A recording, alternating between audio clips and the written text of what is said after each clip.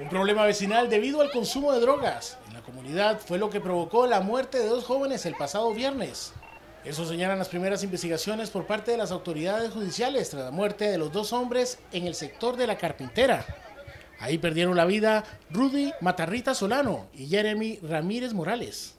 Las personas eh, involucradas y a quienes ya detuvimos son dos hermanos vecinos de la carpintera eh, fueron trasladados al Ministerio Público con el reporte que narra las circunstancias, acontecimientos que determinaron el homicidio de las dos personas y ya se, resolvió su situación jurídica. Aparentemente el móvil del hecho eh, se relaciona con la existencia de un grupo comunal de seguridad ubicado en la carpintera y que desarrolla acciones en el lugar la ubicación y existencia de un grupo de personas que pretende expender drogas en el sitio y el enfrentamiento entre miembros del grupo de seguridad comunal con las personas que de alguna manera quieren vender droga en el sitio.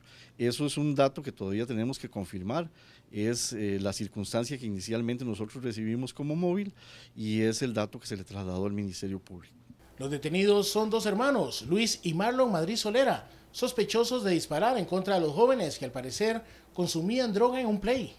Precisamente Marlon, quien habría disparado, cumple prisión preventiva, mientras que su hermano Luis tiene otras medidas cautelares. Los hechos se dieron el pasado viernes, en horas de la tarde.